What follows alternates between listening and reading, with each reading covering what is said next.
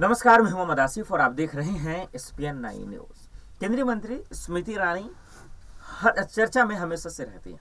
कभी आम आदमी पार्टी पर हमला बोलती हैं, कभी राहुल गांधी को लेकर तो कभी शारदा मदर के मदर मर्डर केस में भी वो अपनी बात रखते नज़र आते हैं। माफ़ी चाहता हूँ फंबल थोड़ा सा हो गया। गुजरात में दर्शकों मतदान की तारीख बहुत ही करीब है। आज देश के प्रधानमंत्री नरेंद्र मोदी, सीएम अरविंद केजरीवाल और कांग्रेस अध्यक्ष खड़गे साहब भी जो है रोड शो करेंगे, रैलियाँ भी करेंगे।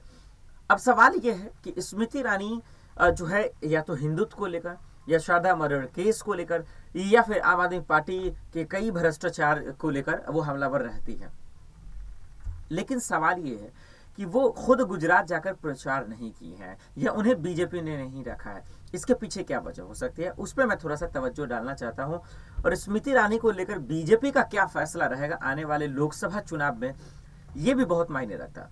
दर्शकों, मैं सबसे पहले यहाँ से शुरू करना चाहता हूँ कि जिस बेटी को लेकर कांग्रेस ने उन पर हमलावर हुआ, और उसके बाद उसमें उनका झूठ पकड़ा गया। राहुल गांधी को बदनाम करने के लिए स्मृति ईरानी ने बहुत कुछ किया। उसमें भी उनका झूठ पकड़ा गया।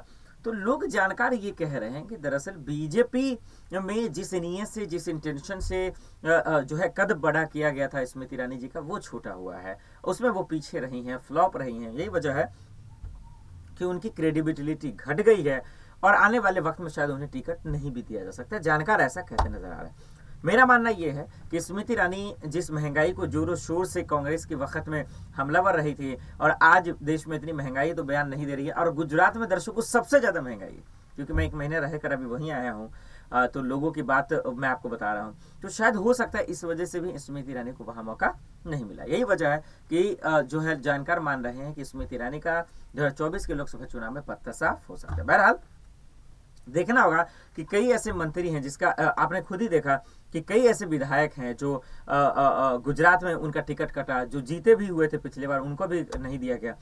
तो स्मृति ईरानी पे जो है लोगों की निगाहें बनी रहेंगी कि क्या होगा, नहीं होगा। देखते हैं कि आने वाले वक्त में क्या वो फैसला लेते हैं, बीजेपी क्या उन्हें फिर से मौका देती है या नहीं, ये एक बड़ा सवाल बनकर रह जाएगा। आज के लिए इतना ही, मुझे दीजिए इजाज़त आप देखते रहे स्पी न्यूज़।